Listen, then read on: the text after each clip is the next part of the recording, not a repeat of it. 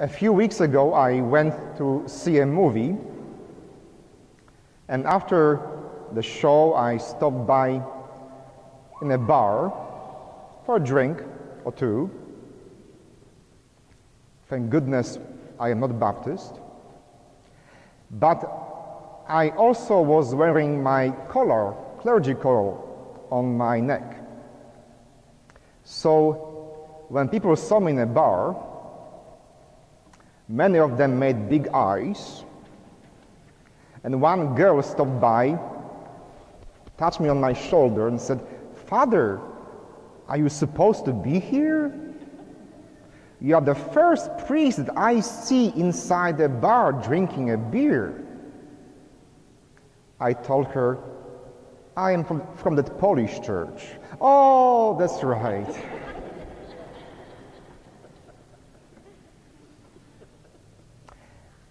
Going to unexpected places or going to places where people don't expect to see you can be really fun. That evening, I talked to at least six or seven people who all of a sudden felt a need to talk to a priest.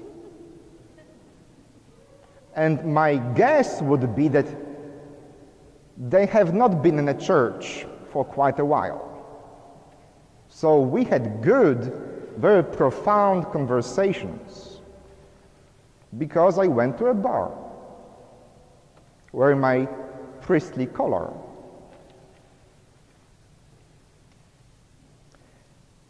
Today's first reading, by the way, Roman, where is Roman? Good job. Roman reminded us a story from the Acts of the Apostles.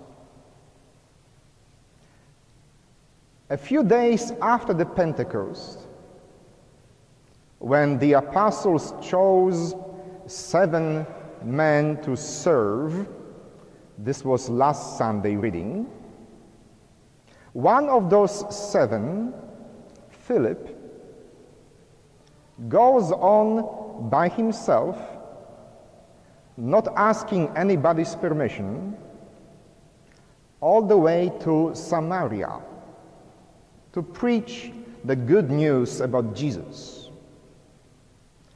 It sounds just so normal to our ears today. Sure, that's what they did, right? They went off and preached the gospel, healed the sick, etc., etc. Well, it wasn't that normal. You see, you should remember that Samaria was not a very friendly place for Jews, and vice versa. Jews did not like Samaritans. I hope you remember different story from the gospel when Jesus talks to a woman at the well, a woman of Samaria. When his disciples are surprised, you talk to that woman from Samaritan town? You see, for Jews, Samaritans are at least heretics. Do you know Harry Potter stories? Do you know Harry Potter? So it's like muggles for the people from Hogwarts. They are half breed. Jews look down at Samaritans as unclean people as people who don't keep all the commandments, as half Jews, half pagan, not as bad as pagans, but not as good as Jews. And so the very fact that Philip goes there to Samaria without asking for permission or blessing of St. Peter is very surprising. Why would he go to Samaria? Out of all places, why Samaria? It is actually the very first time in the Acts of the Apostles that disciples of Jesus go out of Jerusalem, that they leave the city of Jerusalem and start spreading the word in different places. And the first place the gospel is being taken to is Samaria. To everybody's surprise, Philip is quite successful in Samaria. So, of course, the 12 disciples, the 12 apostles, were quite upset about this unauthorized mission, and they sent visitation. Let's check up on him. What's going on? They arrive, and surprisingly, they find out that these people believe in Jesus now. And so the visitation people pray over them and they receive the gift of the Holy Spirit. The Spirit of God confirms the action of Philip the deacon. Very strange. It's almost like going to a bar and meeting a bishop over there. You can meet a priest in a bar, me, but picture meeting a bishop in a bar. That's how strange it was for the apostles to find out that Philip went to Samaria on his own without asking for permission. I guess it's true what they say. It's easier to ask for forgiveness than for permission. I bet at least $100 that had he asked P- Peter, Can I go to Samaria? Peter would have told him, Are you out of your mind? Do you know what people will say about you?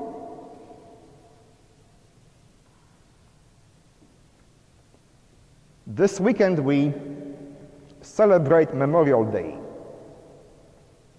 We think of all the men and women who served in the military forces, who served to protect our freedom. And of course, we think of the greatest generation, the people who fought in World War II.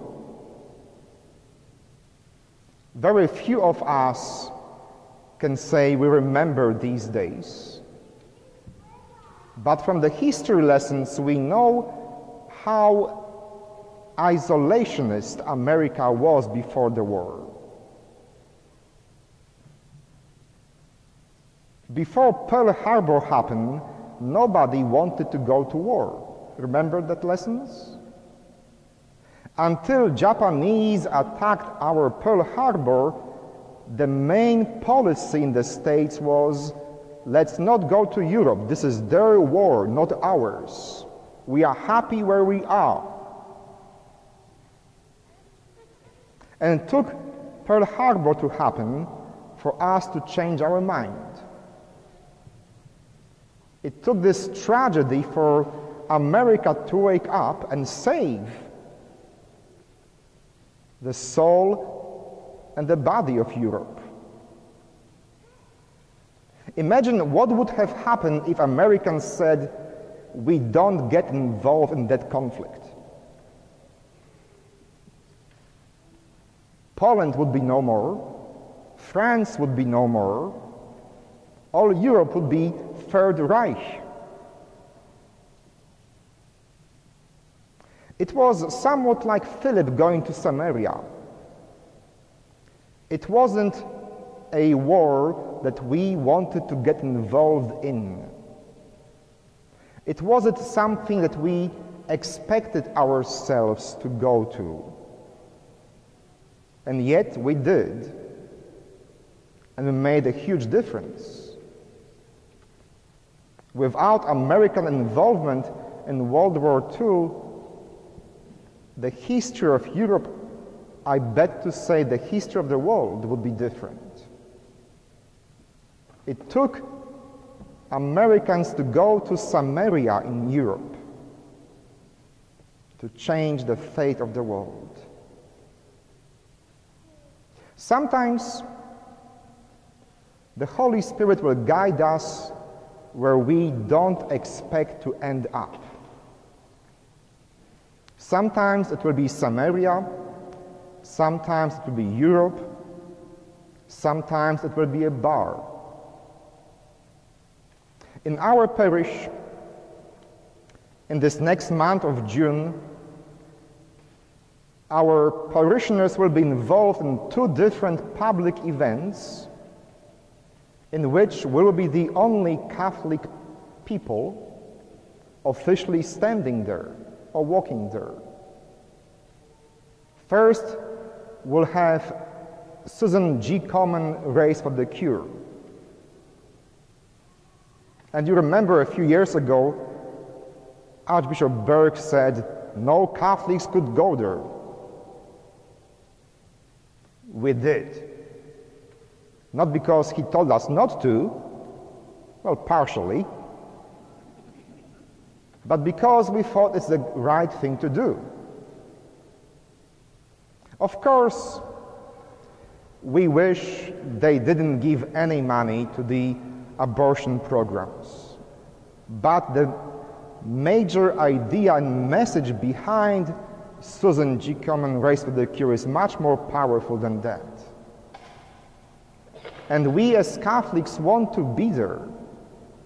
We want to give witness that we care about that issue, that we are going to reach out like Philip went to Samaria. People don't expect me to walk in my pink shoelaces and Roman collar in Race for the Cure, but I do. Because I want them to know that the church is with them, that the church does not abandon them, that Jesus is walking beside them.